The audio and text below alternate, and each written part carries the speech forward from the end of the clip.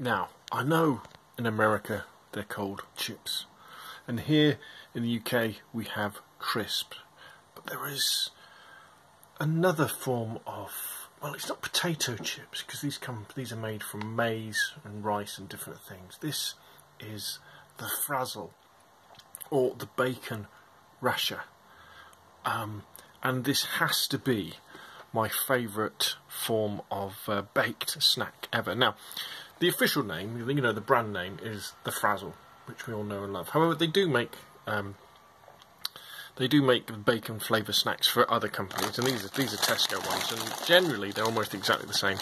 And the big advantage is of going for the the, the non-brand ones. Here, here here's, here's a here's a frazzle. Is ah ah the amazing, amazing bacony, crunchy, crispy flavour. Now, when you buy a packet of Frazzles, generally they tend to be very small, um, uh, about about 18 grams in a bag, um, uh, between 23. Whereas when you get these big family packs, um, these are considerably more. you get them for about a pound, and basically, if you're like me and you're uh, a lover of the frazzle of the bacon flavoured uh, corn snack, um, then uh, this definitely um, is for you because you can eat the entire pack to yourself. And your fingers get this oh excuse me I've got dirty hands haven't I? Look at that. Um, get this lovely crispy bacony flavour on.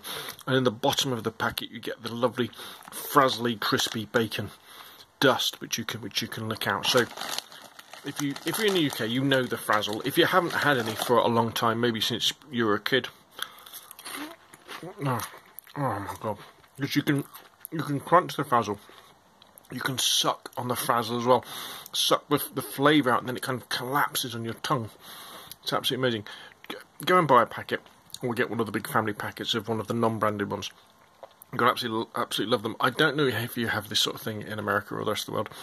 You are um, culturally uh, poorer if you don't because um, these are amazing so if you're ever on holiday in the UK look out for frazzles or basically any sort of snack that looks looks looks like this and tastes mm.